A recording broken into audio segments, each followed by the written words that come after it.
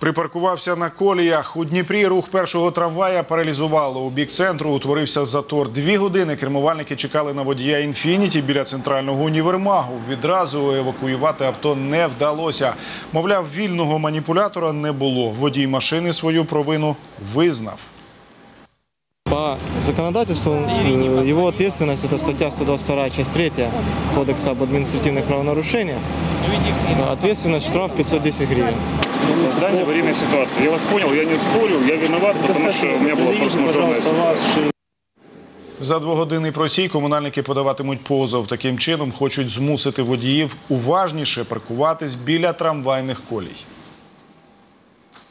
Электротранспорт действительно будет готовить иск На возмещение ущерба. За два часа, ну, я думаю, что больше тысячи людей пострадали от этого. Больше тысячи. То есть, если считать три минуты интервал, э, первый трамвай, там ну, график один перевозит одновременно там порядка 200 человек. Ну, вы можете умножить и посчитать